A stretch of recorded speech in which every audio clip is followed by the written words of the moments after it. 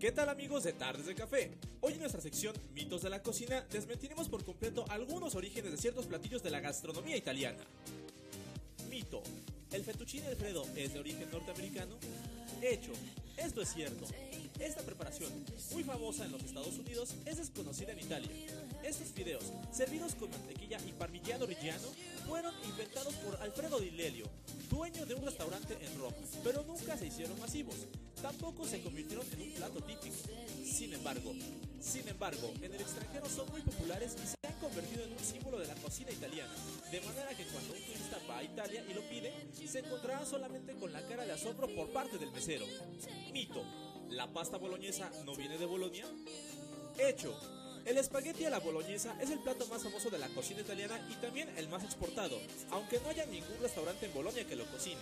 Esto es porque la receta original prevé que con la salsa boloñesa se mezcle con tagliatelle, que es un tallarín plano, no con espagueti. En Italia hay que saber combinar la infinidad de pastas de las que se disponen con la salsa apropiada. Mito. Por cierto, ¿la pizza margarita debe su nombre gracias a una reina? Hecho. Hay quienes afirman que es cierto y quienes argumentan que es mentira. Sin embargo, la leyenda cuenta que la pizza margarita, misma que lleva tomate, mozzarella y albahaca, fue hecha a finales del siglo XIX y debe su nombre a la reina Margarita de Saboya que viajó a Nápoles y pidió comer la comida del pueblo.